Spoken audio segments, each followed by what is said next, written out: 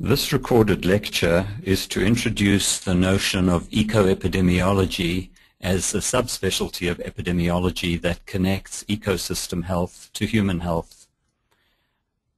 This lecture was first delivered in November of 2010 and it is now updated and recorded on December the 4th, 2012 out of my position of visiting fellow at the University of Canberra in Australia.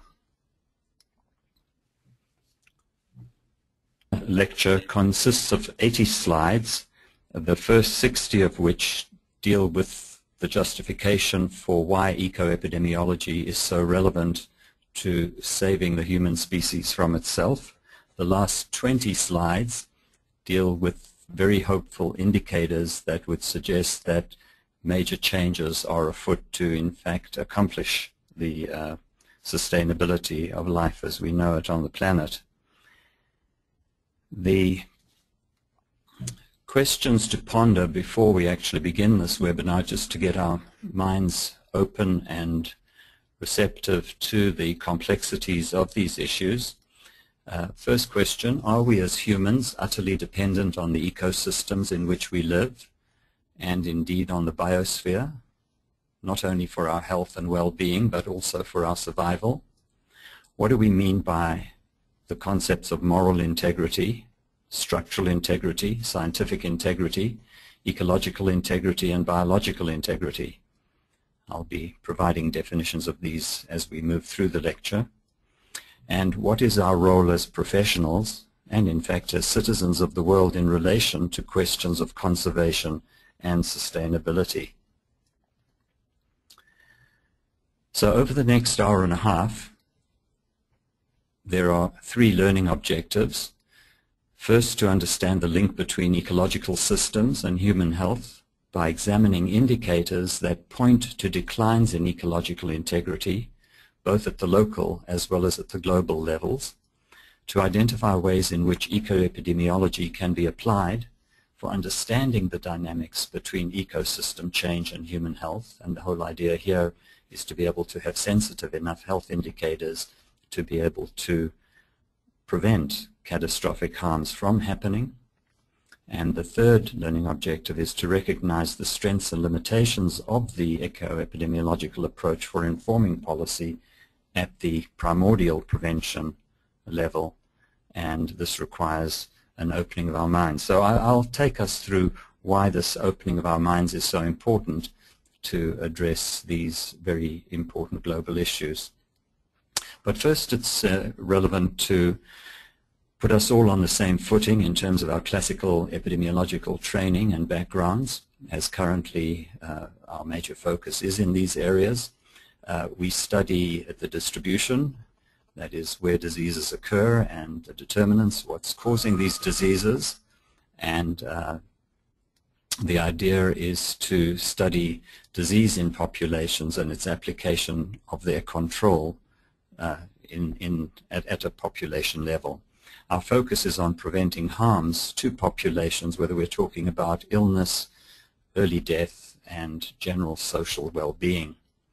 Now, traditionally, we've been trained to focus on these three areas of prevention, primary, secondary, and tertiary prevention. Primary prevention, in briefly, is where we educate to avoid exposure or work with communities to help them avoid exposure. Secondary prevention deals with early detection, the idea there being that if you intervene early enough, if you identify a problem and intervene early enough, then there's the better prospect of, of uh, wellness at the end of the day. And tertiary prevention is where we restore people to the best quality of life possible after they've become ill.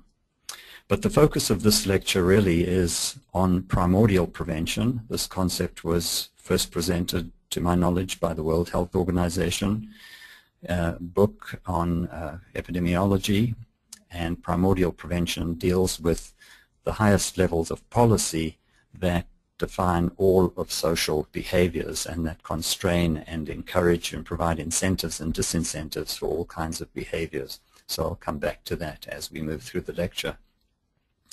The policy relevance of this uh, of, of our field of epidemiology is that we are, after all, the science that is basic to rational, that is evidence-based public health policy formulation. And of course, the big assumption there is that the people in the policy realm uh, are amenable to considering evidence as opposed to being driven by ideological uh, rationale. What we do as scientists is we, uh, in public health and epidemiology as the science basic to public health, is we bridge toxicologically demonstrated evidence with policy by examining the human evidence for what we find in research or what toxicologists find in research based on animal models. So then from our perspective in epidemiology, our job is to inform policy with a view to reducing harms by preventing disease and premature mortality at the population or community level. When we concern ourselves with global ecological changes, ecology being the, the systems within, within which we are embedded for the production of the services that we take so for granted from nature, such as fresh air, clean water, nutritious soils, um, when we concern ourselves with these broader issues that, as I say, we take so for granted, how can we more effectively deliver on this obligation when we keep hearing the trends of ecological changes and so much being in decline that sustains life? Is there a bottom that we could hit? Are there thresholds that we could hit that could result in catastrophic uh, uh, harms to populations? And under expanding global and local disparities and inequalities, again, what is our obligation? How can we effectively inform policy by examining disparities and inequalities? Traditionally in our public health uh, work, we have focused for hundreds of years on issues of sanitation, on questions of water quality, food safety, air quality, and vaccination programs. Typically, uh, we see low endemic levels of communicable diseases in populations. And then what we do in epidemiology is once a pathogen has emerged or entered a population with a certain defined incubation period for that particular pathogen, we see a spike in the incidence of illness and we can intervene in some way and then hopefully see a decline over time. The idea being that we should intervene before the, um, or as early as possible, before the major spike and the continuing spike uh, is uh, increases. When we talk about chronic diseases, typically we see the incidence of disease increasing over time on the horizontal axis and if we can intervene early on, whatever that exposure is, uh, whether we're talking about cancer or any of the other chronic diseases, um, our idea is to try to intervene as early as possible to see this particular curve tail off and begin to decline, as we indeed see in tobacco-related cancers in men. But now with under, under this whole notion of global change and the decline of all that sustains life, uh, we've been tampering with the very fabric of life through a continuing expansion of the human enterprise, going from about 1.7 billion people 100 years ago to now exceeding 7 billion people, expected to rise to 8 and 9 billion people soon. With, this, with these kinds of pressures and stresses and demands on all of what nature provides us, these services from nature are changed as we pollute our environments and these uh, services that we've so taken for granted and indeed even free of charge in their support of life in the commoditization of everything that contributes to the decline in um, life support systems. The effect of the human enterprise and its expansion is a net negative with global impacts such as climate change, declines in air, water, soil quality, as well as food security issues. And of course we see this as headlines in papers all the time these days a few years ago. It quite didn't quite make headlines, but certainly since 1992 with the world, uh, the first World Summit on Sustainable Development in Rio, these things became more apparent and, and more uh, part of our common understanding of what we're doing to the planet. Now, depending on what level we operate as professionals, um, we can operate at a micro lens where we, so to speak, operate on the ground. For example, if you're a physician, you might concern yourself with the physician-patient relationship, and we advocate for our patients. If we operate through a meso lens at the community level, we operate from an elevation of, say, 100 meters, and we advocate for communities. Some of us work through a macro lens, that's at the country or the world or the supranational level, such as United Nations agencies, including the World Health Organization, from an elevation of, say, 10,000 meters, and there we advocate for global health and well-being. And I think the, the key through this lecture is to really find a comfort level for oneself in determining where we feel we can be most effective, whether we operate at the micro, the meso, or the macro level, and uh, recognize that at all of these levels, it's important to recognize that what we do locally has global ramifications and that there is a need for all of our expertise at all of these levels. Now, in science, um, we often speak of uncertainties, um, and there is often from people who have a vested interest in maintaining the status quo, keeping us on a fossil fuel economy, keeping us in a state of commodities and wastefulness and so on. These people talk to the uncertainty in science and that the prospects of global uh, harms are really hysterical over-exaggerations. But sadly, while there certainly is some uncertainty associated with a lot of what we do in this field, there is very little uncertainty with the following selected indicators that I'll not spend too much time on, but provide them to you as a list since you can go back and look at these slides after the lecture. so the contemporary global scale issues that have major human health implications include all of these bullets. We know well about global geoclimatic system changes with global warming, with sea level increases, ocean acidification. Most recently, the United Nations Environment Programme brought to attention just last week that permafrost is melting more, far, more rapidly than previously thought, with releases of methane and CO2 levels continuing to increase. I alluded to this earlier with population growth. We're seeing rapid urbanization, the development of megacities, and we're also seeing mass forced and voluntary migrations. We're seeing increases of deserts forcing migrations as well. We're seeing an expansion of consumption-intensive lifestyles in particular. We're seeing this philosophy move into China and India, each with populations that exceed a billion people. We've seen overfishing of the oceans with fish stock imbalances. We've seen increases of global and within-country disparities, increases in social dis-ease. We'll come to each of one of these in a few minutes as we go through the lecture as well by way of examples. We're seeing freshwater declines everywhere on the planet, resurgence of old diseases and the emergence of new diseases.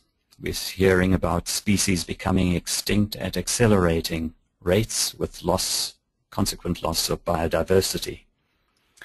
We're committed as a species, it seems, over certainly since the Industrial Revolution of about 175 years ago, to a growth-bound paradigm. We seem to be entrenched in this, which is a system of consumptiveness and wastefulness with places to dispose of waste and to extract whatever it takes to built-in obsolescence for everything that we wish to consume.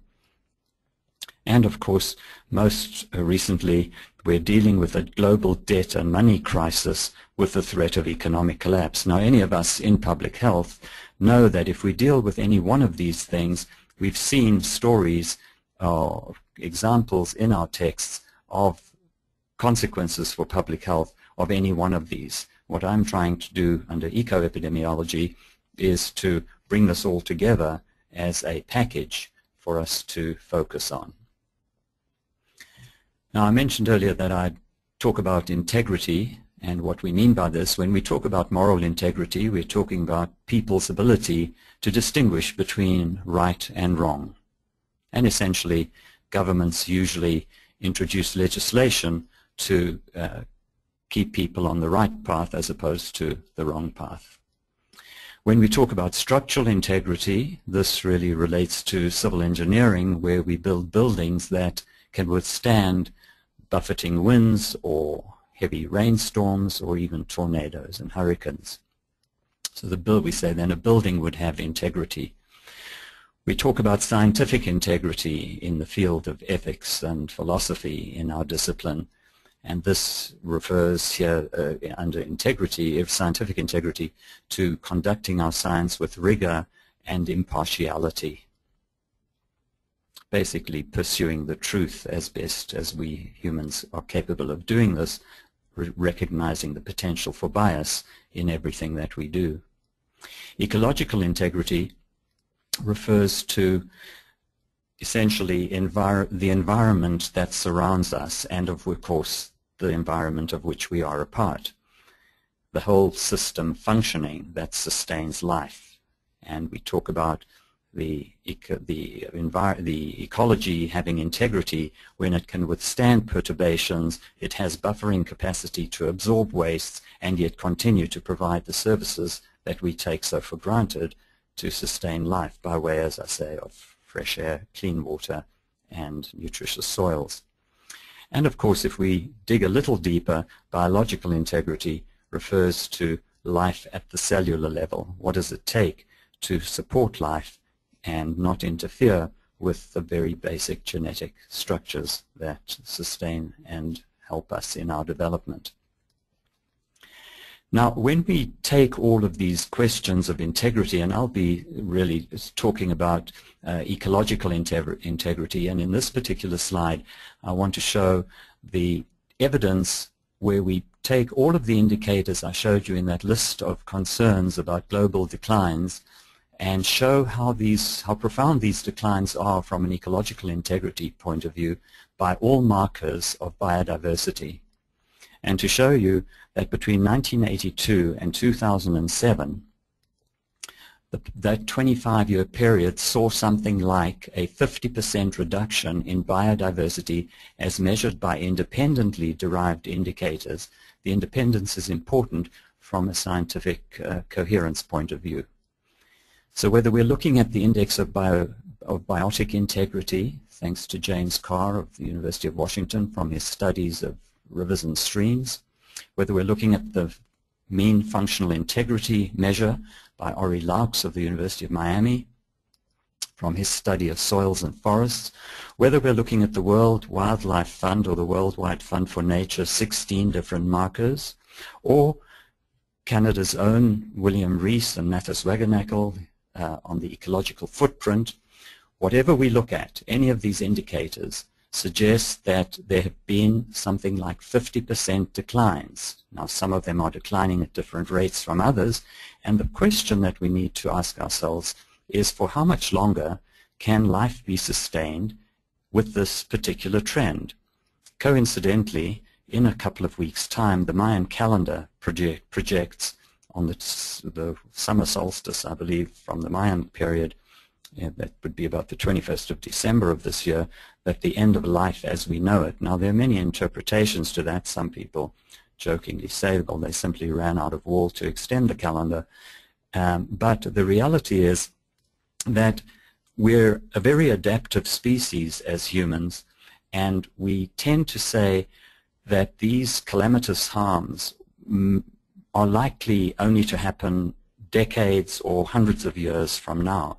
The sad reality is that all of the changes that I showed you in the list are already happening, but because we're so adaptive, uh, and because most systems can adapt and have buffering ways and rich countries can build buffering in to sustain life by importing food or by exporting waste and so on, um, these, uh, re the reality is that we already are on this downward decline. So the question that I raise is how can epidemiologists contribute to bringing this to attention, to, pub, to packaging it in ways that might influence uh, a population or a government uh, sensitive to evidence-based as opposed to ideological-based drivers of change. Let's look at some of the facts of the ecological footprint. For those people who don't know the ecological footprint, if you can imagine the uh, sole of your foot, the heel might constitute the mass of population, and the sole, that's like as in a city, say Toronto or New York, Paris, any city around the planet, and the sole, the rest of the sole of the foot would represent that land mass necessary to sustain people who live in those concentrated cities by way of uh, purifying air, providing fresh water, and assimilating the wastes that are disposed of from those cities. If those cities were to put a dome over themselves and not import or export fresh and wasteful produce, that you can imagine would that city would soon implode and collapse under its own uh, pollution. So let's look at how humans have been ignorant or stupid enough not to pay attention to the science that has uh, been provided. I've got a crude series of numbers here of the ecological footprint alone. It has definitions and as we know in epidemiology, no single summary measure tells the whole story, but the ecological footprint has a lot of resonance associated with it. And what we can see that in the United States, well, let, let me start at the world. If we, in fact, believe in equity in the world, then each person on the planet would be entitled to about 1.8 hectares per person. In India, they're able to live on, in 1991, 0.4 hectares per person. In Canada, we had exceeded in 1991 the 1.8, where we were sitting at 4.3 hectares per person. The United States was even more demanding and heavy in terms of its demands on the planet than what Canadians were. But despite the knowledge of the footprint, look at the way this has changed. Globally, we now need 2.2 hectares per person. In India, they went up 100%. Canada went up, and the United States went up. At this rate, at, at current rates, we in fact are drawing down what is called ecological capital. It's like going into deep into mortgage or into debt, um, needing not two but two and a half planets if we all were to live at the levels at which we live in the northern countries, the rich countries, or the developed world. Now, this is all very uh, frightening information in many ways, and when uh, Elisabeth Kubler-Ross pointed out in 1969 in her classic text on death and dying in a cancer context, she recognized that uh, there are five stages of grief. And I've adapted this under the global change broader context to add a sixth one. None of these, it, this, this, particular uh, series of stages is not in any hierarchy. If a patient comes into a doctor's office and is told that they've been diagnosed with pancreatic cancer and they've probably got no more than six months to live, the person could respond with anger. They could go into a state of denial. It can't be happening why me, it's not fair. They could uh, hear the news and try to bargain and say, let me just live to see my children graduate, or they could go into depression, or they could reach a point of acceptance. Now, they may accept it immediately and say, well, particularly if it was related to, say, a smoking-induced cancer, they might say, well, I certainly was warned about the hazards of smoking, and now I've got it, and you know I can accept that, and it's uh, and it'll be okay. Under global change, we've been warned through the ecological footprint, through the Club of Rome. You may have heard about this group through 1968 with their report in 1972, warning us about peak oil, about the trajectory that we were on, with different scenarios and models of course, again, powerful moneyed interests tended to poo-poo that report and uh, foment uncertainty in the mind of the public. Also, a lot of us tend not under this situation to take responsibility for the changes. We all continue to live the lifestyles that we've been um, born into and we tend to lay blame and say it's somebody else's fault.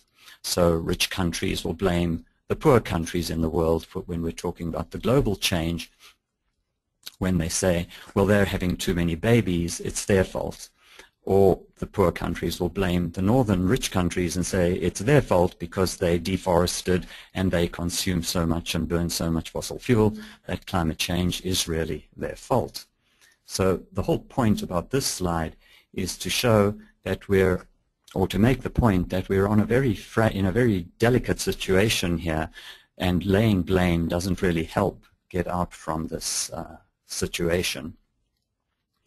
To help us get out of the situation, Ehrlich and Holdren in 1971 came up with their seminal piece of work published in Science with this identity called impact is equal to PAT, the PAT identity, where P stands for population, A for affluence, and T for technology.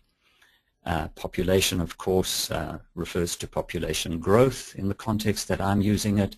Affluence refers to consumptiveness and waste disposal, and T talks about technological uh, abuses of technology, essentially, whether we're talking about armaments, uh, landmines, um, and the belief that technology, through technology, a magic bullet will exist to save us from ourselves. And what I've essentially done is I've adapted this notion of impact and I refer to it as integrity again and say that integrity is a function of population times affluence, remembering that affluence is consumption and waste and technology as are defined. By forcing us to accept that the integrity of systems and that if we're to stop laying blame is functionally related to these three uh, factors. This stresses for us the interdependence of all of these three things in terms of the trajectory of those declines that I showed you in the slide a few moments ago. And it shows us the independence of these forces which often are treated independently as needs for population control, reduced consumption, or green technologies. And this identity, I believe, helps us in making our values and our assumptions more transparent in discussing these issues. I can assure you that if you sit at a table at the World Health Organization or the United Nations, you will see countries laying blame and pointing fingers. What one needs to do is park our interests at the door, if that's at all possible for us, when we go into these meetings and discuss rather our values and our assumptions so that solutions might more readily be found. So what this identity does for us is it uh, shows the interplay of all the determinants that is critical if we're going to formulate policy that's going to sustain the planet and life as we know it. So what this identity does, again then, is it exposes bias and self-interest when the North blames the South or when the South blames the North. It uh, encourages us to recognize our collective interest on this fragile planet, whether we are North or South. We all have to change our ways in rather profound ways if our goal is sustainability. If we don't do this, it's like rearranging the deck chairs on the Titanic as we approach the, ice, the iceberg that causes us to sink.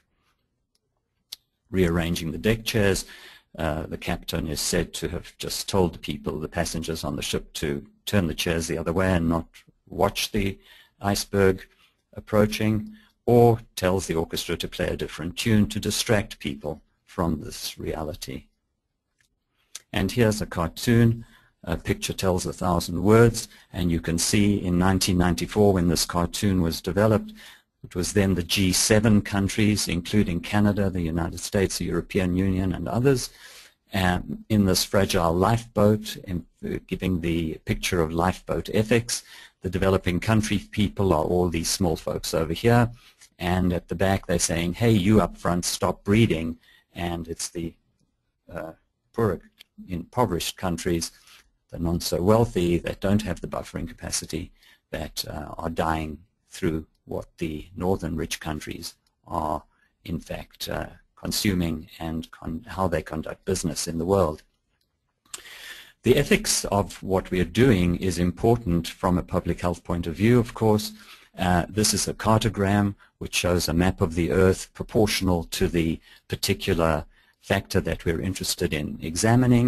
So if we're looking at countries contributing in terms of billions of tons of carbon, we see that the countries contributing are relatively small. Here you see South America, here you see Africa, much smaller than the traditional map as we know geographers to produce maps. And the countries that are contributing, the large contributors, are these so-called old G7 and others in Europe. But when we look under this cartogram at the mortality per million population, the countries most affected are not so much the northern countries contributing to the problem, but the southern countries, the poorer countries. And we need to, if we believe in equity, ask ourselves, is this fair? Is this justice? And in 2009, when Kyoto Accords on climate change, and climate change is just one of the global changes that I spoke to earlier, when we talk about climate change, they talk China and India attack Western climate hypocrites going into these discussions, which we all know resulted in a uh, non-ability to further the Kyoto Accord because people went in laying blame and expecting the rich countries to at least contribute billions of dollars to poorer countries for the harms caused through overconsumptiveness in the rich countries. So I referred to the lifeboat ethics earlier. We see communities and indeed this is happening globally. Richer countries, people are living in gated communities or cluster communities with guards at the gates. And we're talking of moving into fortress nations as disparities continue to widen and we become increasingly polarized. And this polarization, as any of us who've read the history of health in, pop in populations, polarization leads to social disease, war, hunger, and uh, death.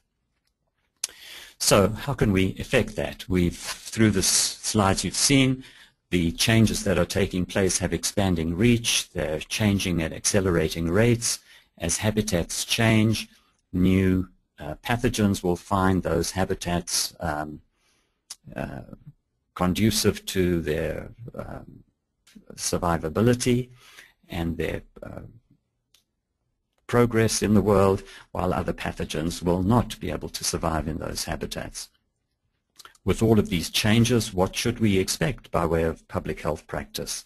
What, if any, is the role of eco and environmental epidemiology and the other specialists? What about questions of environmental and bioethics? And what about law? I'll address, on each, I'll address each of these as we go through the slides. In, I believe it was 2009, James Lovelock produced his most recent book, The Vanishing Face of Gaia.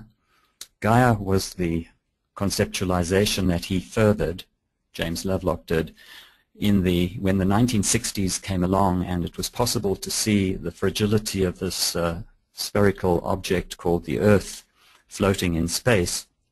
And he saw the Earth as a self-regulating organism where whatever you do on one part of the planet had perturbations or ramifications on other parts of the planet. And James Lovelock in his book talks to the fact that we've gone beyond global warming, but we're actually committed to global heating.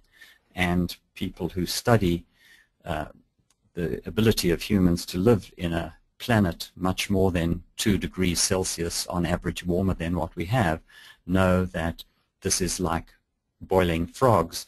The frogs will stay in the beaker as the water warms and then they will die instead of jumping out of the beaker and finding a more habitable place elsewhere.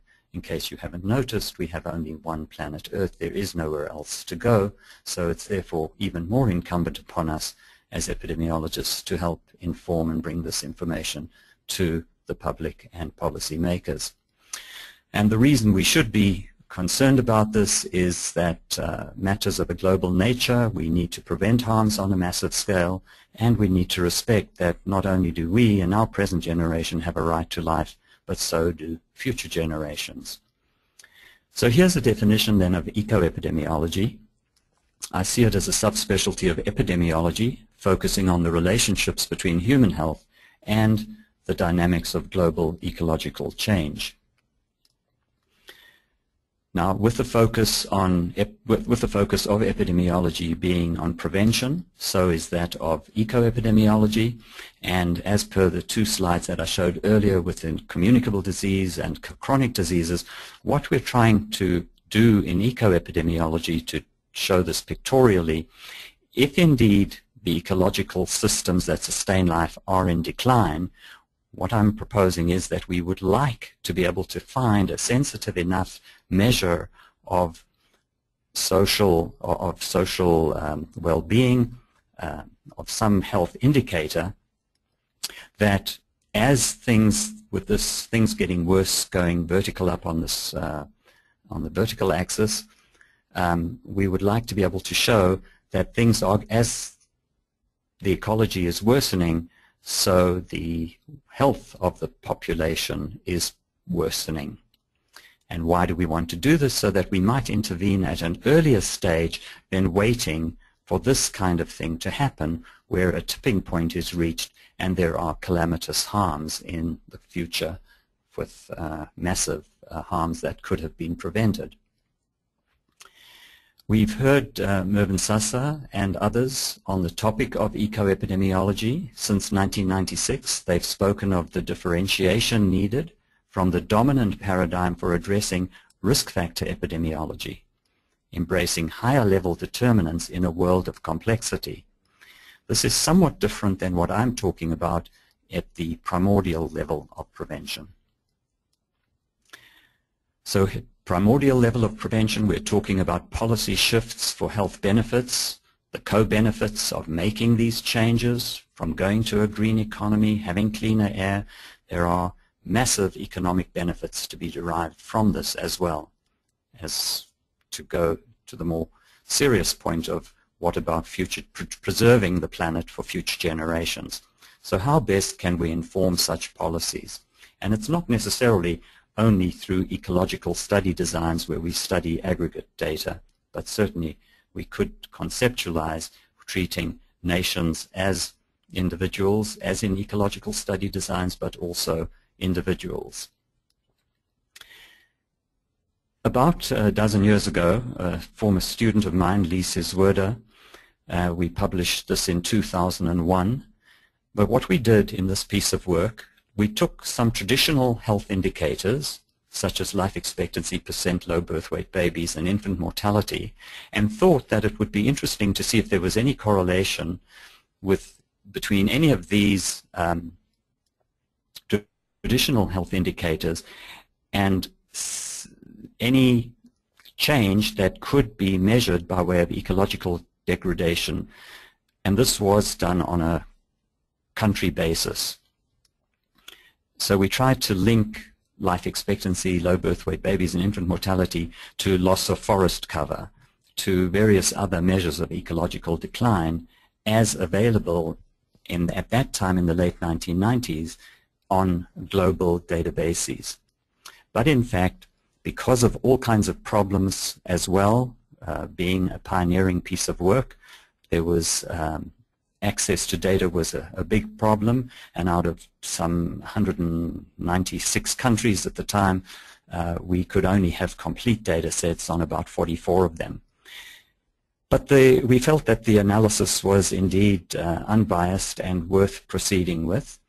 And in fact, we found no association between what we thought was intuitively linkable, such as life expectancies declining if forest cover was being lost. But in fact, thanks to the founder of the Ecological Footprint, William Rees, who was on the supervisory committee of uh, Lise's at the time, we realized that wealth, in fact, is the buffer, that the countries that have, in fact, degraded their environments are the wealthier countries. And by definition, therefore, they have the capacity to import foods, to build structures that are not subject to hurricanes and tornadoes, and they can indeed continue to survive. But the question is, for how long can this continue? But perhaps from a public health point of view, what happens to those who live in poverty without the buffer of wealth. Mark Anielski, who uh, is based out of Edmonton in Canada, studied at redefining progress in San Francisco in the, I believe it was the 1990s, and developed for the province of Alberta a genuine progress indicator for economic, personal, societal, and environmental well-being. And what he uh, brought to my attention long ago was that economic growth, which is the single most important measure that is used by most all governments throughout the world today in the name of the GDP, Gross Domestic Product, or GNP, Gross National Product. And he shows that it's much more important to look at genuine progress of societies not based solely on gross domestic product or gross national product, but to look at it in three dimensions, economic, societal, uh, personal, and environmental dimensions. And here are some examples of other economic indicators, not just GDP, but economic diversity, trade, taxes, savings rates, household debt. Under personal societal, look at the degree of poverty in society, how much free time, parenting and elder care, obesity, suicides, and so on. And under environmental, Look at oil and gas reserve life, fish and wildlife, wetlands, peatlands. What is the quality of these things? What is our ecological footprint? And he showed by combining, here we have not just one indicator, but if you count this up, there are 51 indicators, I believe, that when you compare over the period 1961 to 1999, the GDP, you see growth. And we all know how governments and people in society pat themselves on the back when they say, oh, and GDP is expected to go by, grow by 2%, by 5%, by 6% this year. And this is why we see growth. And those of us in health know that growth is, uh, and there's a wonderful book by John McMurtry out of the University of Guelph called The Cancer Stage of Capitalism, that uncontrolled growth is will, will eventually kill the host. So when you look at this kind of growth over time in a finite world where we cannot expand the economy indefinitely, that we're going to soon hit a, hit a ceiling where there will be feedback loops that are going to have profound ramifications on all life as we know it. Whereas using, again, as epidemiologists looking for good indicators, the GPI, the Genuine Progress Indicator, shows, or the Genuine Progress Indicator of well or Well-Being Index, shows that in fact, and this resonates with most people, where you find families working, children working early, hardly ever having meals together, struggling to sustain themselves, even in the richer countries. We all hear about the 1%, the 99%, or the 90-10 split. I'll come to that in just a moment. Since the work that we did uh, with uh, Sieswerda, which was published in the journal Epidemiology in 2001, Huynen and Martens out of the out of the Netherlands did replicated that work. Uh, Rainham out of Halifax replicated that work, and Hitten Hendricks most recently did a very innovative piece of work showing that it is possible to link. There isn't time in this lecture to go into what they were able to, each of these was able to link, but you can certainly find these references if you're interested. Uh, other authors of note, Bridging Ecosystem Change and Health, of course, uh, John Last, Public Health and Human Ecology, first edition in 87, Tony McMichael, Planetary Overload in 1993, Aron and Patz Ecosystem Change in Public Health, Butler, Rotman and Martens again, these are the folks out of the University of Maastricht in the Netherlands. All of these people have been real pioneers in thinking about these global issues and how public health and epidemiology in particular might help us deal with the many factors that go into formulating the kinds of hypotheses that are needed to try to inform policy. Now, the whole idea of why it's important to open our minds is uh, to look at the very question of what goes into formulating a hypothesis. Hypotheses really are formulated on the basis of our own lived experience.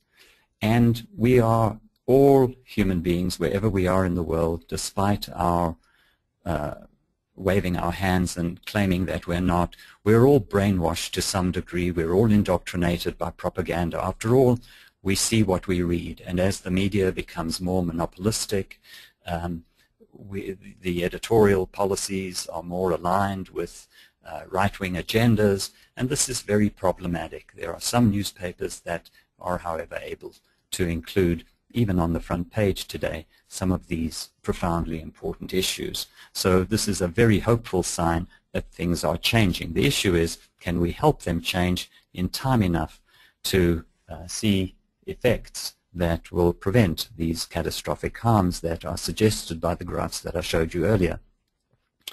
We all live by dogma, something held as authoritative without substantiation. We feel we have some entitlement to benefits. We don't seem to be able to distinguish between humility and arrogance, and I'll come to that in the definition of the principle of solidarity in a moment. We're all very hypocritical. Sometimes when I give this lecture to a small group of people, I ask people to hold hands and I stand in front of the room and I say, hello, my name is Colin and I'm a hypocrite. You'll recognize that analogy with Alcoholics Anonymous. It's only when you can recognize that you have a problem that you can start to address the problem.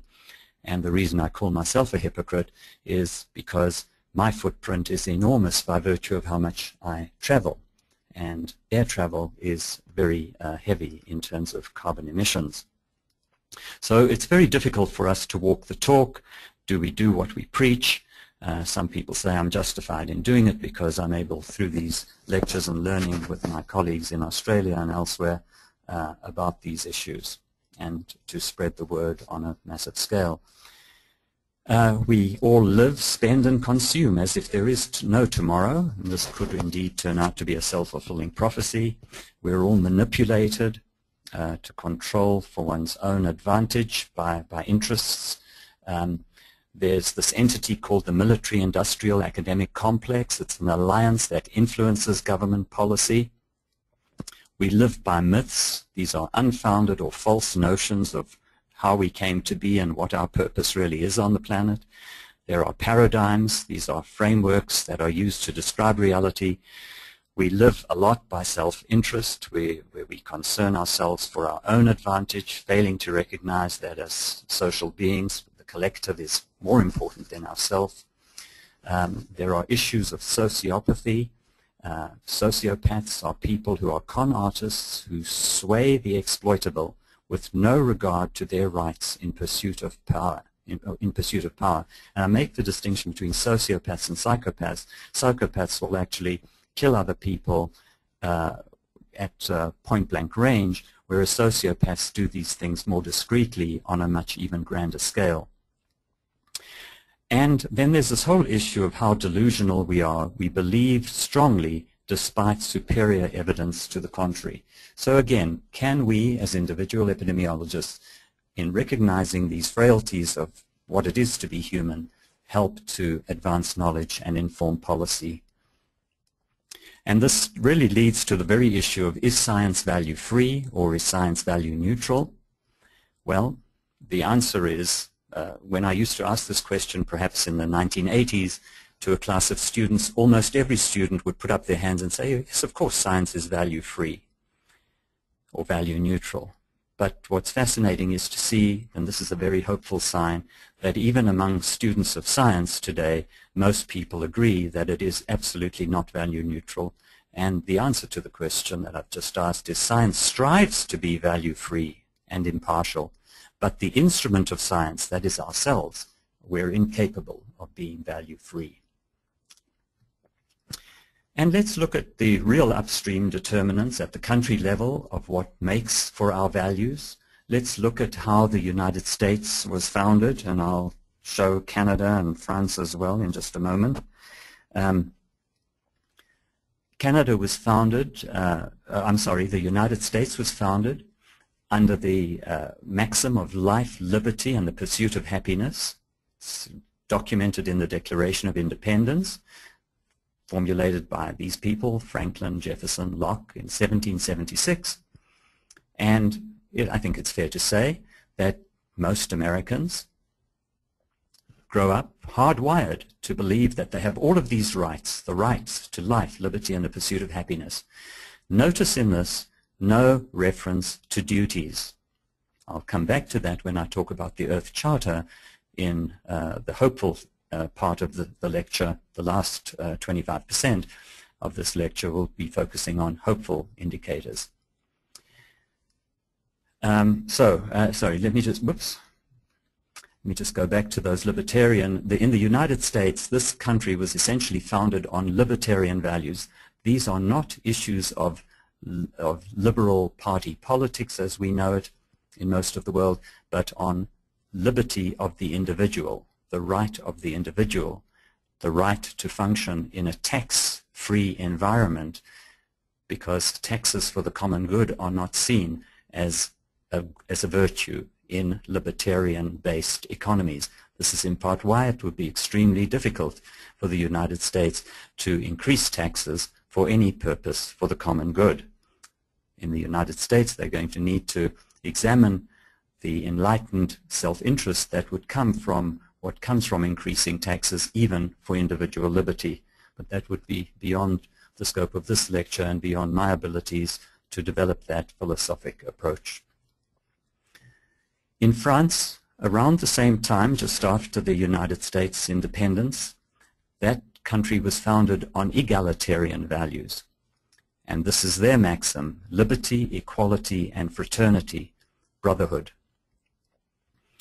If they cannot afford to eat bread, let them eat cake was the quote attributed to Marie Antoinette. I believe the English translation takes some liberties. This isn't quite what she is alleged to have said, but it does make the point of the insensitivity of leadership when the farmers thronged outside the palace and the king and his wife stood on the balcony and suggested why are you complaining that you don't have enough bread? If you can't afford bread, eat cake. And that led in turn to the French Revolution. From a public health point of view, this kind of thing is, of course, to be avoided as best we can.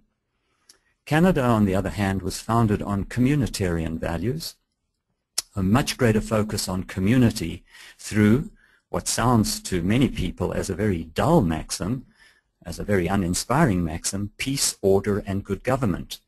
Why does it sound dull? Because it isn't as exciting as all the rights that are suggested in libertarian set of values of life, liberty, and the pursuit of happiness. Here, there's far more duties to ensure peace, order, and good government, and that's embedded in the Constitution Act somewhat later than the founding fathers of the United States and in France. But this is to show how communitarian values create for a different set of values and why it is in Canada that despite right-wing pushes to or pulls to move us away from universal access to healthcare, the public stands very firmly and demands that we keep it. On the topic of ethics, um, bioethics, medical ethics, as we know, bio of course refers to the bio, the biosphere more than anything, but it's somehow been uh, the focus of medical ethics in the in this meaning of this term bioethics. We talk about four um, principles: the principle of respect for autonomy, which talks about the right of the individual to self-determine whether they want to participate or not in a study, whether they wish to be subjected to surgery or not. And we talk about telling the truth and honoring our, honoring our promises and telling the truth. The second principle is doing good, beneficence, do no harm, non-maleficence, and the fourth principle is social and distributive justice, uh, where we ensure equity in the distribution of benefits and risks of research and policy.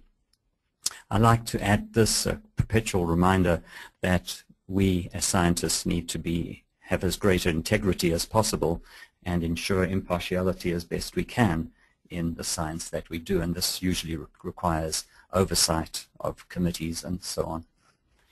But when we extend from medical ethics to public health ethics and more in particular to environmental ethics, we need to consider the principle of protecting the most vulnerable in society, protecting unborn children, Aboriginal communities, the frail elderly, um, kids growing up in very rapid developmental stages, because clearly if we protect the most vulnerable, then all are protected from pollution and stress indicators. The other important uh, principle is that we should involve communities in our research. This ensures, as an applied science, which, what, which is what epidemiology is, that we will ensure community relevance of our work. Again, integrity in public health requires that we serve the public health interest above any other interest. There are many other principles that apply, but since I'm talking about uh, uh, that apply in public health, but since I'm focusing on global ecological change, I'll talk here, speak here to the precautionary principle. Uh, this is essentially the principle of preventive medicine. That's if you even suspect that something may be causing harm, let's first demonstrate that it's not causing harm before we start counting bodies and say, whoops, it doesn't, it did indeed cause harm and we could have acted earlier. The post-cautionary principle came from Lisa Heinzelling from, I believe it's Georgetown University in the States, when she realized about six years ago or so that we had missed the boat in terms of being preventative in climate change, and she said we now have to focus on being post-cautionary and help communities and societies to adapt to the harms that were going to come from a changing climate. Environmental justice we've all heard about. Bill Clinton uh, recognized this as a separate field with offices established within the United States Public Health Service on environmental justice. Um, issues of communities who are located downwind from polluting sources or on polluting sources. Do we relocate them? Do we give them compensation for the downward spiral that would affect their health or that their health would be thrown into by virtue of their simple location or the jobs that they're forced to do. The polluter pays is another principle to try to encourage people not to uh, pollute. If you catch people polluting and make them pay, that would be a disincentive for them. The seventh generation principle is one that should resonate nicely with uh, people who are familiar with uh, native cultures, Aboriginal cultures, First Nation cultures in Canada. The seventh generation principle is, as it says, that before you decide any action today, consider what the consequences of that action might be seven generations down the line. Imagine if our governments today, globally, were, were, were able to be influenced by or have their decisions trumped any principle for economic growth or for anything else would be trumped by consideration of the seventh generation principle. If we were to consider what the consequences of these decisions might be, we might in fact move from a path of decline to one of sustainability. The principle of solidarity I said I'd mentioned earlier. This requires concerted action, especially on matters of a global nature, and why is it needed?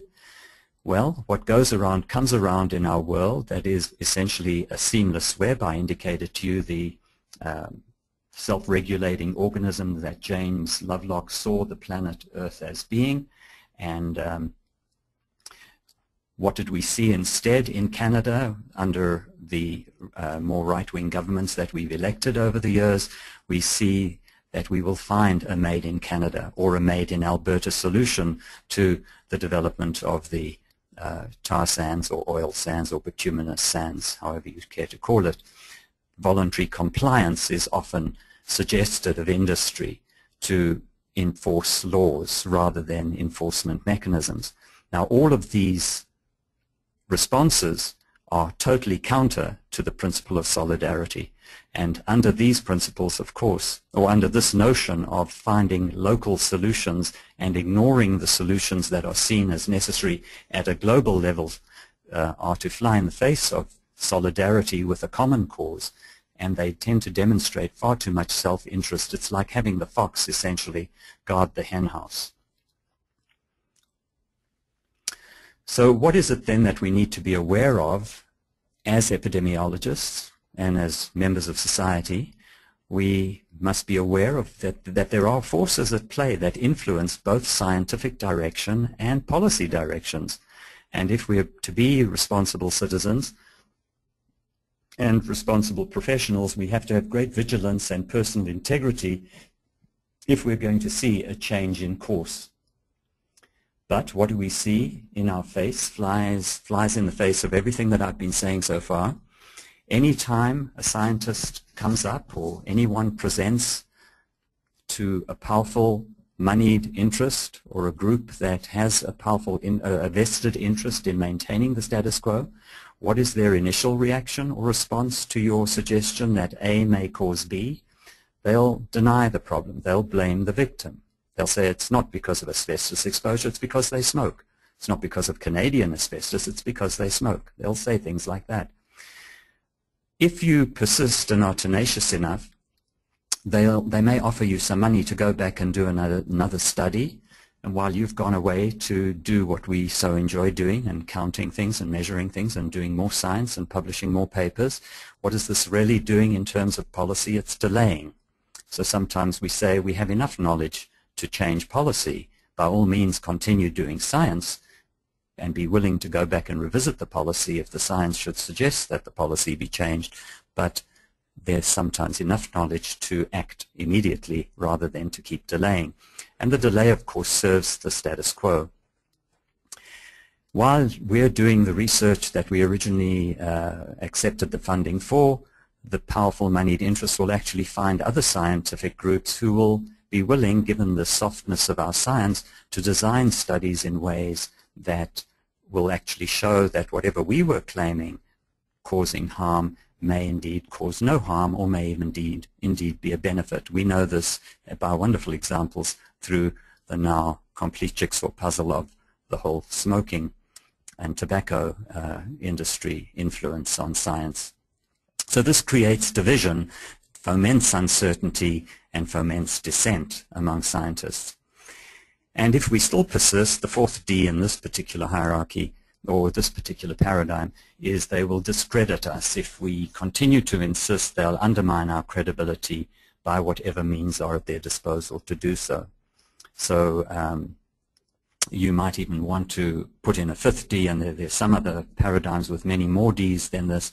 But if those of you remember Meryl Streep in the movie Silkwood, there was an example of denial, delay, discredit, dismiss, and even death. So, you know, people say of, uh, of public health, it's not for the, the meek and mild. It's uh, if you can't stand the heat, get out the kitchen. But you do have to stand up for the public interest if, uh, if you want to be effective in the public health realm, and in particular in this uh, realm of, of uh, global change, because the vested interests are so powerful in maintaining the existing paradigms that we're in. In fact, it's not me just ranting about this right now, but there's the manufacture of doubt. I'm just giving you two examples of recent books. David Michaels, under Obama, was appointed to head up OSHA. Um, doubt is their product. 2008 Oxford University Press, Devra Davis, The Secret History of the War on Cancer, and her other books as well.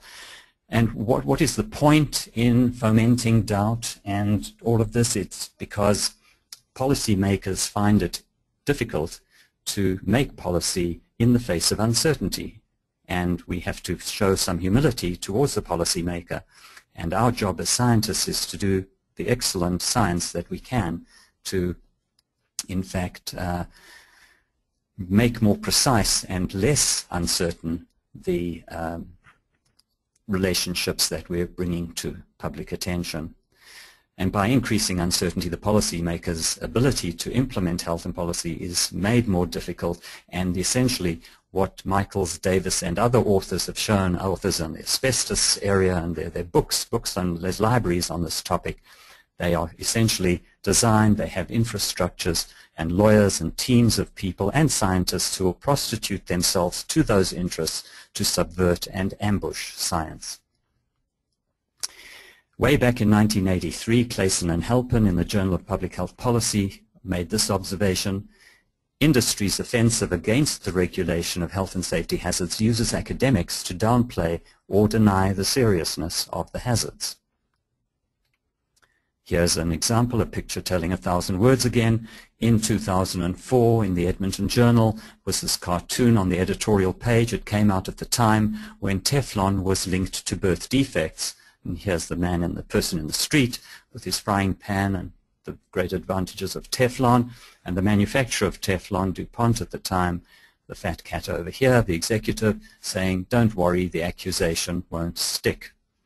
What does he have in mind there? Don't worry, we'll find scientists who will do studies that show that perhaps Teflon is not a risk for reproductive of hazards and so on to show you the lengths to which uh, wealthy corporations will go.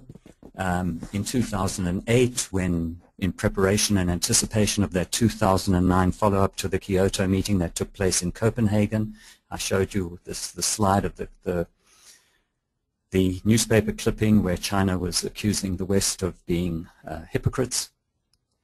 Here you see an example of right-wing think tanks funded by powerful vested interest um, actually having the audacity out of the United States, the gumption, call it what you will, but the business interest to actually infiltrate every Canadian young child's mind by sending 11,000 brochures and DVDs to kids' libraries to tell them essentially that climate change has nothing to do with uh, the human enterprise. I believe that was the essence of that message. Now, there are orthodox and unorthodox approaches to dealing with these very large, broad issues. I mean, it's for one single individual to carry all of this weight on the shoulders is too much to bear. But as we deconstruct it and, and look at it carefully, I think it becomes quite um, graspable and uh, and and we can in fact find areas whether we're at as I said before the meso, the macro or the micro level of work Albert Einstein made the point that, uh, this is a quote that we see many times, the significant problems that we face today from our current patterns of thinking cannot be solved by the same pattern of thinking which created them. We hear these kinds of statements, we've got to stop thinking inside the box, we have to think outside the box. We've got to stop thinking in linear reductionist ways, we've got to embrace complexity. This whole idea on which our universities were founded on unidisciplinary, these siloed, compartmentalized disciplines, where we where we move to interdisciplinary, where we talk with one another more than talking at one another in multidisciplinary contexts, where we have to move to transdisciplinary approaches to addressing these issues of complexity. I'll give you a nice definition of transdisciplinary in just a moment. And I spoke about the rearranging the deck chairs on the Titanic. Well, here the band-aid solutions as opposed to systemic solutions are needed. Band-aid solutions would be telling the orchestra to play a different tune on the Titanic or turning the deck chairs to face away from the iceberg, but we need indeed systemic solutions to the problems that face us today. The definition of transdisciplinarity, these are approaches to human health that integrate the natural, social, and health sciences in a humanities context and in so doing transcend each of their traditional boundaries. The emergent concepts and methods are the hallmark of the transdisciplinary effort. Let me focus on the distinction between reductionism and system approaches. Reductionism is where we pursue a single cause along a linear path to explain a phenomenon. And one way of conceptualizing this is to see a deep well that we dig into the ground or a silo where we continually digging down, down, down to try to find what's the cause or the connection between A and B. And in that process, if you can conceptualize this nicely, you will begin to see that you're so deep in a hole that you cannot see the connectedness of what you're discovering with other scientists and what they're discovering. So there becomes a need to be integrative across all the sciences. And this is why many universities today and granting councils are encouraging interdisciplinarity, transdisciplinary thinking and research, which leads to systems approaches or holism, which are integrative, multi, inter, and transdisciplinary approaches to explain a phenomenon that embrace, embraces complexity. In the 1990s, Funtowicz and Ravetz developed what's called post-normal science. And this really is a science to address environmental policy under conditions of complexity. And they published work through the 90s. And they make the distinction between what most of us were trained to do, this linear reductionist under Newtonian approaches versus complexity paradigms. And just to uh, sensitize you to these distinctions, we talk about reductionism under Newtonian pro processes or uh, paradigms versus holism, thinking holistically under complexity. Under Newtonian approaches, we want to be predictable. Under complexity, we embrace the fact of unpredictability. This is linear versus nonlinear. Under complexity, we acknowledge uncertainty. We accept it as part of the reality.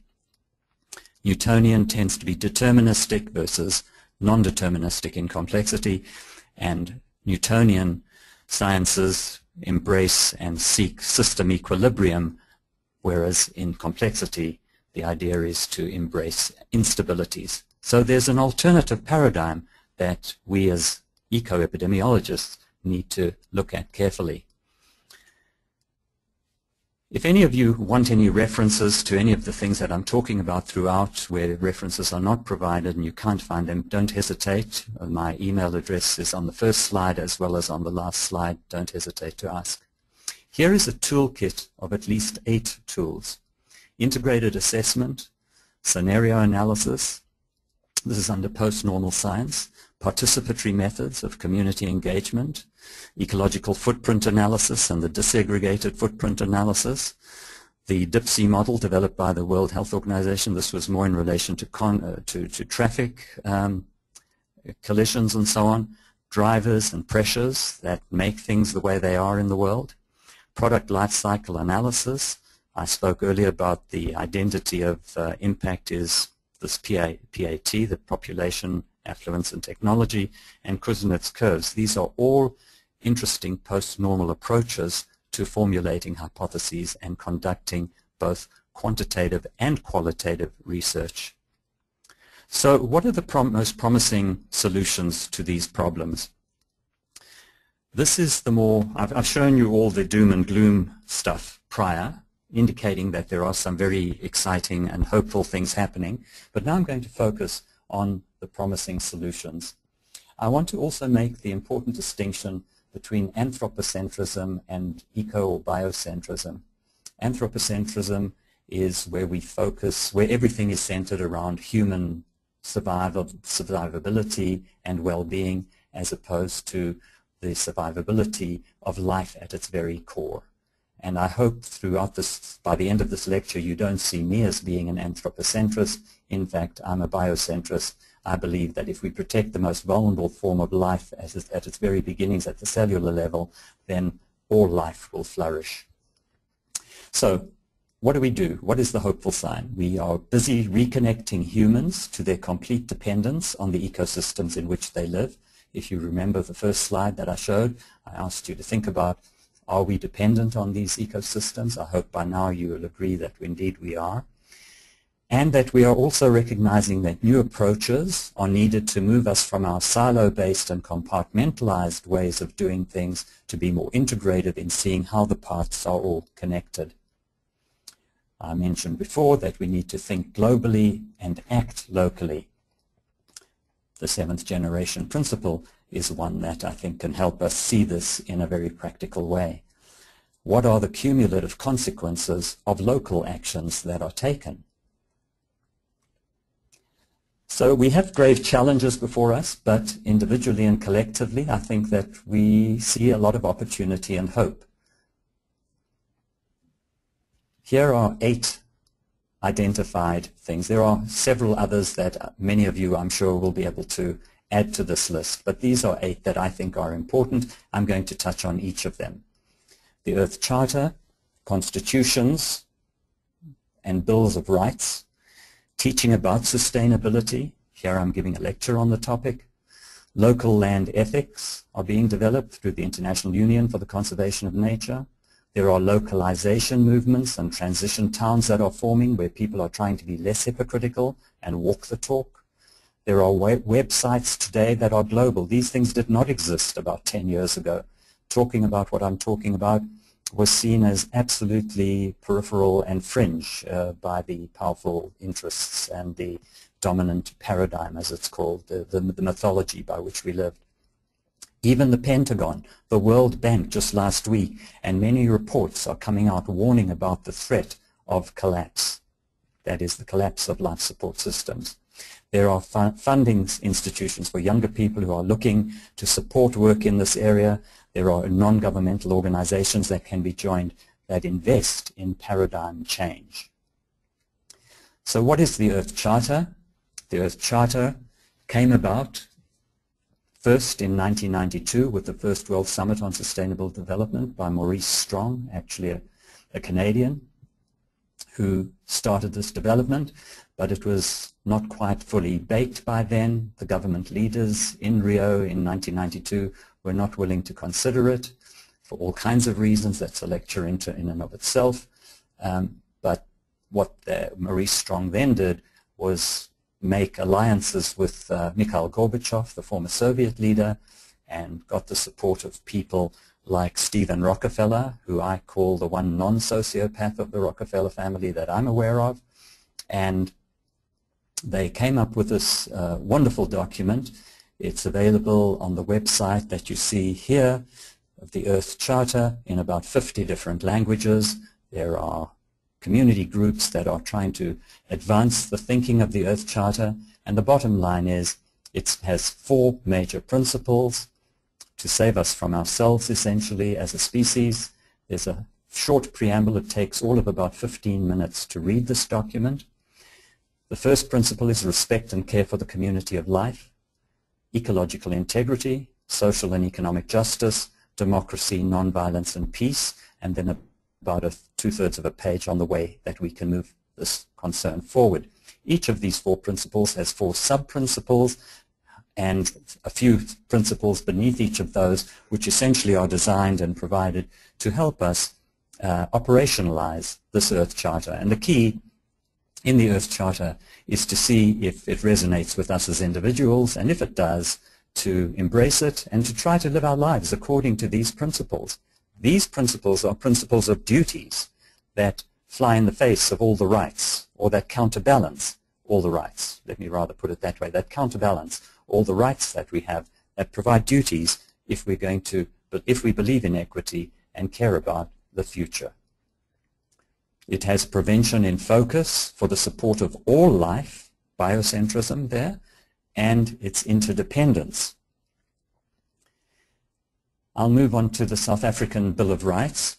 Um, in 1996, South Africa was among the first countries in the world when it moved from uh, authoritarian rule to democracy to in 1994 to adopt its Bill of Rights in 1996 and this was one of the first to have as an individual right in any in that country to an environment that is not harmful to the health and well-being of people. Future generations are noted. The requirement to prevent pollution and ecological degradation, to secure ecologically sustainable development. These concerns are unusual. We might ask ourselves, do we see such things in Canada or the United States? Certainly not enshrined in our Bills of Rights. Not yet, anyway. Many other countries since the mid-1990s, including not only developing countries or countries in transition, but Brazil, Colombia, Ecuador, Cuba, France was one of them. They all built this kind of language into their constitutions and bills of rights. What does that mean to individual citizens? Well, it means that as an individual citizen, if you feel that your government in these countries that have enshrined these things in their constitutions and bills of rights is not directing policies in ways that protect the environment, you can challenge the government. The problem with it, of course, as you can imagine, to do, to make such a challenge, it's not just a question of cost, but it can take many years to prevail at the end of the day and get a judgment. So the question then emerges, well, how much time do we have to see this? The issue that is most um, important in this consideration, though, is that it sets a tone for the country. It sets a very rich direction that this is to be protected, and that's important. It sets a new norm for conduct. In fact, David Boyd out of Canada just published a book out of the University of British Columbia Press and dealing with the entire analysis of what I've just introduced to you here. Um, I published a book, uh, senior edited, a collection called Sustaining Life on Earth, and the Faculty of Business at the University of Alberta was enthusiastic enough, the dean at the time, to ask me to teach a course, an interdisciplinary course on values, ethics, and sustainability. This highly interdisciplinary course reveals the extent to which the system is broken, how we have come to the point of systems collapse, and how a major overhaul might be managed frames the issues, and so on. That's the book that that course was based on. Envir the subtitle is Environmental and Human Health Through Global Governance, and it's essentially based on uh, or, or rooted in and foundational upon the Earth Charter. Advanced praise for this book from Bill McKibben, the uh, author of many other books, Deep Economy, in The Eleventh Hour, the leader of www.350.org to promote local actions to get countries and citizens around the world to get their governments to act on climate change, to reduce continuing emissions of CO2, methane, and other things. This book is a powerful attempt to prove that human intelligence and the institutions it has created possess power enough to blunt the force of our ecological destructiveness destructiveness. It provides a light for the path, one that is badly needed. I mentioned before the International Union for the Conservation of Nature.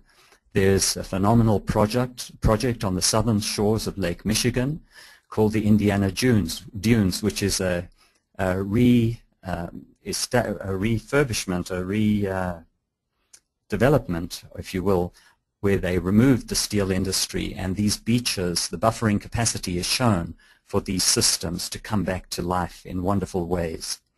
In Camrose, Alberta, at the Augustana campus of the University of Alberta, a few years ago I learned of a movement there to do something similar, where they come up with local ethics, local land ethics for the communities.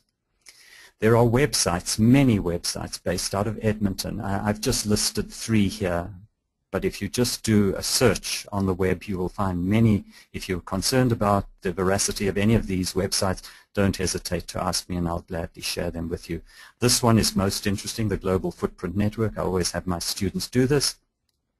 Um, you can go in and calculate your own individual footprint, which is the basis for my telling you that I'm a hypocrite by virtue of how much I travel. Um, if it's 1.8, uh, mine is around 17 many of ours is very high in the developed world. There are foundations and non-governmental organizations that are investing in paradigm shifts, in a change in paradigm. Some, and these are just three that I happened to put down when I thought of presenting the slide, the World Watch Institute, the Earth Institute, David Suzuki Foundation, and many, many others. These are very hopeful signs. One can think of working with some of these organizations as well. There are mainstream institutions I referred earlier to the Pentagon, the World Bank, and many reports warning, warning about the threat of collapse. Some people may remember about four or five years ago, Nicholas Stern out of the United Kingdom showing that a small investment in preventing climate change would pay back in spades in terms of the economic costs that will come by ignoring this issue. There are supranational organizations through the United Nations agencies, but the question is, where are our leaders? And who, to whom are they beholden? Social movements and movies. I cannot even begin to tell you how many wonderful movies there are and how many social movements there have been. Most young people will be most familiar with the more recent development of the Occupy movement, the Zeitgeist movement, the most recent movie. It's two hours and 40 minutes long. I encourage you to take the time to watch it if you are concerned about any of these things that I've been talking about today. The Journey of the Universe is another one. Another movie is called Home. These are wonderful movies essentially put out by Swedes, people in New York, and all over the world. Well worth the time to understand the breadth and depth of these issues and most excitingly to see the level of understanding that is being developed to help us shift paradigms.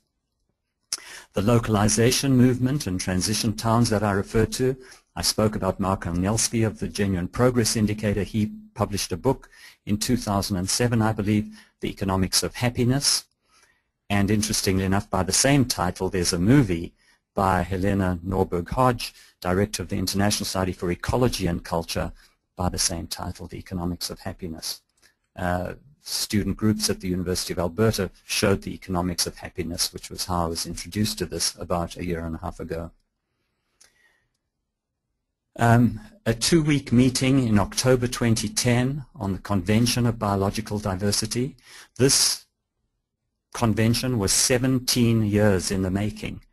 But in 2010, another very hopeful sign, 190 countries came together. And interestingly enough, you've heard me speak about ethics at the opening session of the very, the very last sentence of the head of the United Nations Environment Program. In his sentence, he said, we must approach biodiversity conservation from an ethical point of view.